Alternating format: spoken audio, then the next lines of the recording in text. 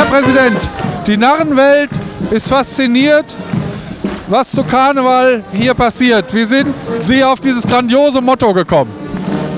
Also ich bin da ja wahrscheinlich gar nicht drauf gekommen, sondern eine geheim, äußerordentlich geheim äh, tagende Mottenkommission, sagen wir so landläufig. Natürlich, wir wissen, dass es Motti heißt, aber trotzdem Mottenkommission.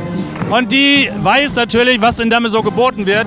Und in Damme wird Außergewöhnliches geboten. Deswegen behaupte ich, die Maßstäbe werden in Damme gesetzt und deswegen auch das Motto. Seit wann hat es denn vor dem 11.11. .11. gekribbelt, weil es endlich wieder losgeht? So gesehen kribbelt es bei mir das ganze Jahr, weil ja äh, insbesondere im Elberrad immer irgendwas zu tun ist und das alles ja darauf hinweist, es geht wieder mal irgendwann los mit der Session und andererseits ist auch die letztjährige Session noch weiter, äh, sagen wir, abzuwickeln. Äh, also das Kribbeln wird natürlich zum 11.11. .11. etwas äh, merkbarer.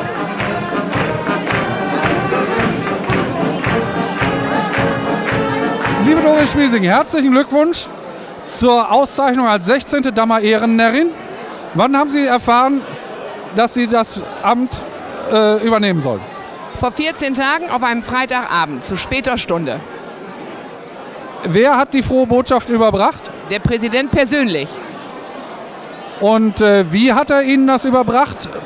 Platt auf den Kopf zu oder in seiner eher bekannten Art hintenrum und etwas äh, über die Dörfer? Nein, wir hatten vom Preiskomitee ein Essen das letzte Mal mit unserem Präsidenten. Und äh, dann hat Wolfgang, äh, weil ich zu Fuß war, sein Fahrrad neben mir hergeschoben, sind noch bei Tuta eingekehrt und dann hat er mir das dort am Tisch erzählt.